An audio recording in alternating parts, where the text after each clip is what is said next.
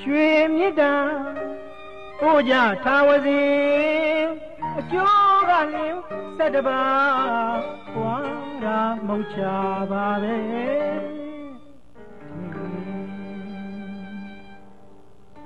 ရွှေမြစ်တံပို့ကြသာဝစီအကျိုးကလင်း ဆက်တပါဘွာရာမုံချပါပဲအိတ်တဲ့အချိန်မှာပင်စင်ယူလို့ချမ်းသာလို့အစဉ်အိတ်တဲ့အချိန်မှာပင်စင်ယူလို့ချမ်းသာလို့အစဉ်ညာတိုင်းကျင်းကြီးစတော့ထက်မြက်ပါတဲ့အိမ်မက်ကိုမြင်ညာတိုင်းကျင်းကြီးစတော့ထက်မြက်ပါတဲ့အိမ်မက်ကိုမြင်နိုးကြပါလို့မနဲ့လင်းအစဉ်ဒုက္ခကိုစိတ်နှစ်ပါးတွင်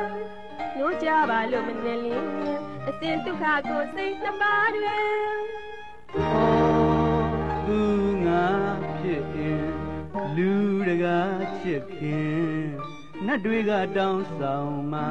ခြင်း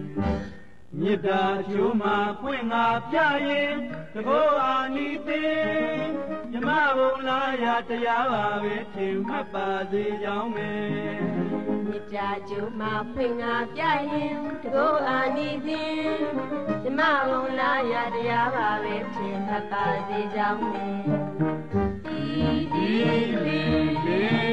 ဒီရှင်မြတ်တာဆွေကြကုန်ပါစေ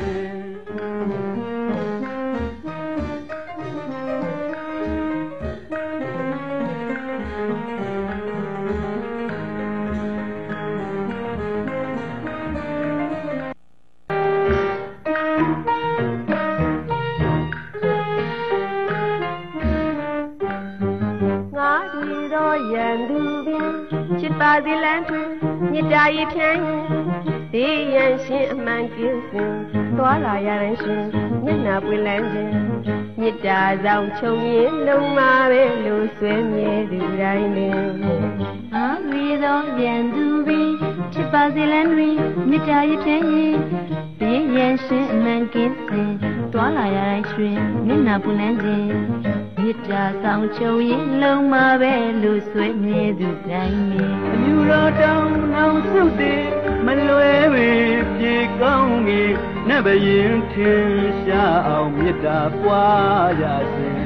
အယူတော်တောင်းနောင်ဆုသည်မလွယ်ပေပြေကောင်းကြီးနတ်ဘရင်ထင်ရှားအောင်မေတ္တာပွားရစေ